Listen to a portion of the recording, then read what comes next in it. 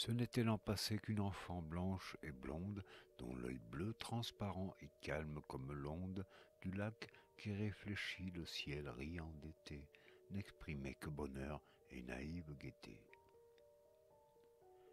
Que j'aimais dans le parc la voir sur la pelouse parmi ses jeunes sœurs courir, voler, jalouse d'arriver la première,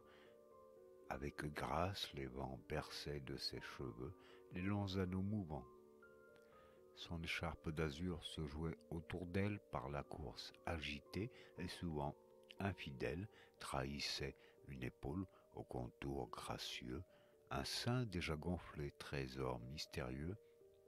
un col éblouissant de fraîcheur dont l'albâtre sous la peau laisse voir une veine bleuâtre. Dans son petit jardin que j'aimais à la voir, à grand-peine portant un léger arrosoir, distribuait en pluie à ses fleurs desséchées par la chaleur du jour, et vers le sol penché une eau douce et limpide à ses oiseaux ravis, des tiges de plantain, des graines de chenevis. C'est une jeune fille à présent blanche et blonde, la même, mais l'œil bleu, jadis pur comme l'onde du lac qui réfléchit le ciel, riant d'été, n'exprime plus et naïve gaieté.